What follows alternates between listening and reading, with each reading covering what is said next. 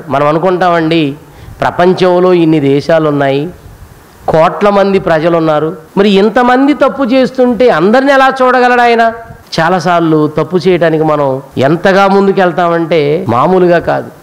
ఏంటి మన ధైర్యం? ఏంటంటే ఆయన నన్నెక్కడ చూస్తాడు? ఇంతమందిలో నన్నెక్కడ పట్టించుకుంటాడు? నేను మోసం చేస్తే దాన్ని కనిపెట్టగలడు ఆయన? నా వైపు చూడగలడు ఆయన? ఎంతమందిని ఎలా చూస్తాడు అనుకుంటావు కానీ ఆయన అందరినీ చూస్తున్నాడట చూడండి. ఆ మాటలో ఏముందండి అక్కడ? ఆయన నరులందరినీ దృష్టించుచున్నాడు. తానున్న నివాస స్థలము ఆ పరలోకములో నుండి. భూలోక నివాసులందరి వైపు ఆయన చూచుచున్నాడు. పైనుండి చూస్తున్నాడట. అందరినా ఆ మాట చూడండి. అందరినీ చూస్తున్నాడండి.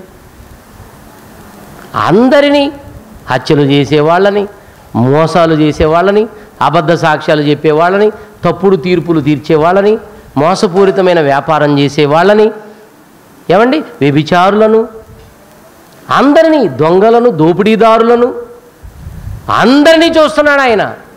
ఆయన కంటికి కనబడని సృష్టం అంటూ ఏది లేదు. బైబిల్లో ఒక మాట ఉంది. మనము ఎవనికి లెక్క ఒప్ప చెప్పవలసి ఉన్నదో ఆ దేవునికి సమస్తమును మరుగులేక తేటగా కనబడుచున్నది. తేటగా. అందరినీ చూస్తాడండి ఆయన. అందుకే గుండెల్లో భయం పెట్టుకుని మనం బ్రతకాలి ప్రియమైన దేవుని పిల్ల. నన్నెవరు చూస్తున్నారులే? నన్నెవరు చూస్తున్నారులే అనుకోవద్దు. దేవుడు అందరినీ చూస్తాడు ఆయన నరులందరినీ కూడా ఆయన చూస్తున్నాడు దృష్టించుచున్నాడు.